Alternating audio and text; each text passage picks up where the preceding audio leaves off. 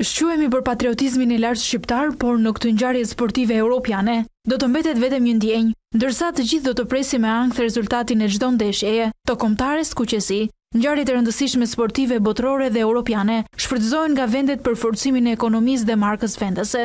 Gjerësisht mbizetëron konsumi i pijeve alkoolike dhe kryesisht i birrës. Por çfarë ndodh në Shqipëri? Zinxhiri i promovimit dhe nxitjes nuk funksionon sipas prodhuesve vendas të birrës. Ata kanë konstatuar në nisje të kampionatit europian që po u jepet prioritet produkteve të importit. Në fanzonet e krijuara dedikuar kampionatit, këtë vit produkti shqiptar nuk do të shfaqet, pasi këto vende janë zënë nga produktet e huaja. Kam frikë që dashurinë atdhetare nuk do ta përfaqësojë dot birra.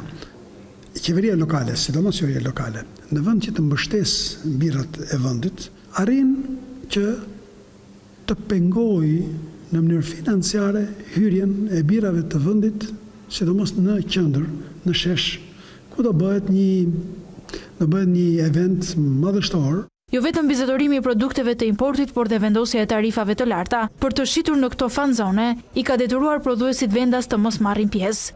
Thërresin ata që ata njerëz që duan ata.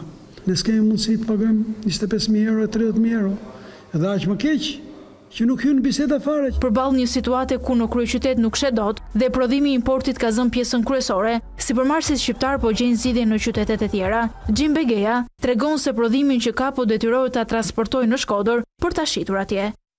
S'pretendojmë që në shesh të Tiranës, me meqë kjo ka një tarifë, ka një çmim, ka diçka ndonjë gjë, por, por ne, ka plot sheshe ka, ka bashkia, plot sheshe ka bashkia, që na jepte mundësia që një nga ato sheshe të krijohet një fan zonë edhe për, edhe për, për birrat prodhimi vendës. Vetëm në katër muajt e parë të vitit Shqipëria importoi dymbëdhjetë pikë nëntë milionë litra birrë, tre pikë katër milionë litra më shumë se njëjta periudhë e një viti më parë. Por në rast të eventesh sportive, ky import rritet edhe më tej. Nga ana tjetër përveç luftës me mallrat e importit, prodhuesit vendas rendisin si vështirësi dhe vendosjen e dyfishimit të akcizës për këtë produkt që nga janari dy mijë e njëzet e tre. Kushtetuesja e mori parasysh problematikën tonë. Unë nuk e di çfarë vendimi do japi, por nuk e di pse kam një ndjesi pozitive që do na japi drejt. Nesër edhe po humëm, edhe ne do ta çojmë në gjykatë të Strasburgut. Gjykata e Strasburgut jemi më të qetë sepse ato çfarë të zbatojnë gjë tjetër, vetëm të zbatojnë, do shikojnë që letrat janë të atyne, nuk janë, nuk janë shpikjet tona.